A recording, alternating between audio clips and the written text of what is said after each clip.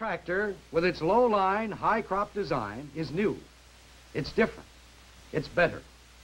Gentlemen, we give you the all-new D14 tractor.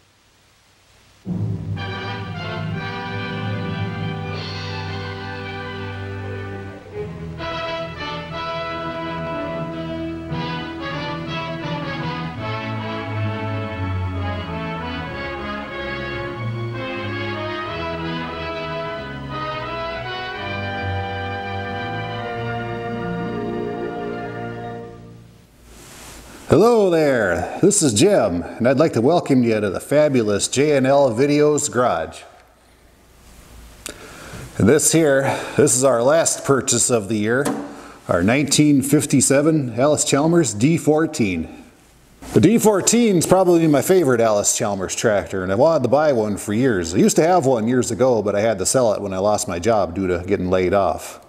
And somebody had posted online this auction coming up about an hour away from us. And I wasn't looking to buy one, but I saw it there and I just had to have it.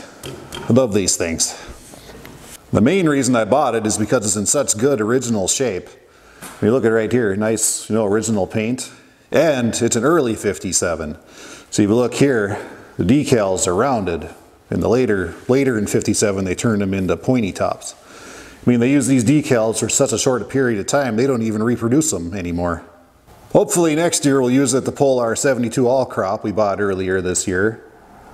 Also want to get it nice and polished. You can see we did a couple of test spots here and the original paint cleans up real nice.